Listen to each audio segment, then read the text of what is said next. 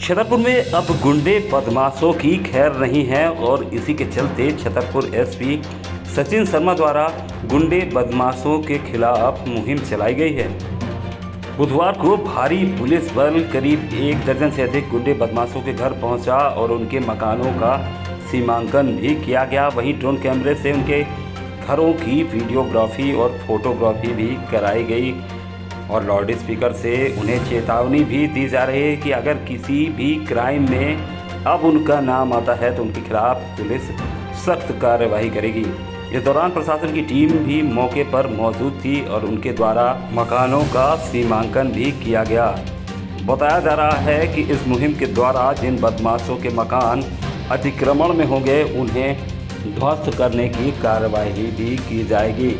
वहीं loud speaker से चेतावनी भी दी जा रही है कि बदमाशों का किसी भी क्राइम में अब नाम आना नहीं चाहिए, वरना पुलिस अब और भी सख्ती से पेश आएगी। मौके पर पुलिस अधीक्षक सचिन शर्मा खुद भी पहुँचे।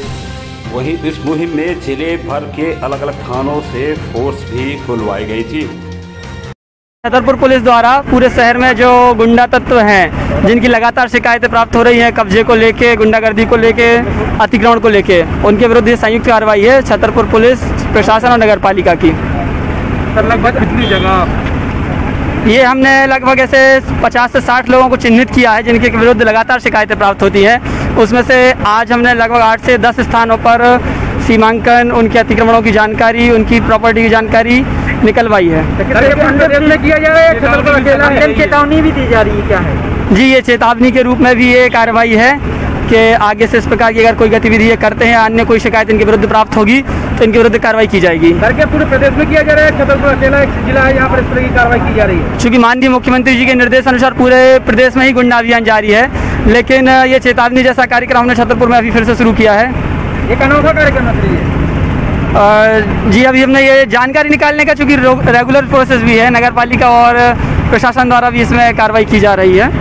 तो सीम छतरपुर में गुंडों की खैर नहीं है जी बिल्कुल गुंडों के विरुद्ध सख्त से सख्त कार्रवाई की जाएगी। छतरपुर शहर में कोई भी गुंडा तत्व को बर्दाश्त नहीं किया जाएगा। ऐसा पुलिस अधीक्षक महोदय का सख्त निर्देश है और ये उसी तारतम्य में चेतावनी जैसी भी जारी की गई है। सर कोई सूचना देता है? किस प्रकार से सूचना देगा? कैसे जानकारी देगा? हमने अपना एक हेल्पलाइन नंबर भी जारी किया है। पुलिस कंट्रोल रूम का नंबर भी है।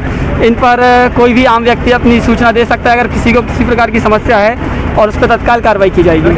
जानकारी गोपनीय रखी जाएगी? बिल्कुल इसमें हम किसी की भी जानकारी सार्वजनिक नहीं करेंगे। जो भी जानकारी हमें प्राप्त होती है अगर वो सही है तो उस पर कार्रवाई होगी और जानकारी गोपनीय रखी जाएगी।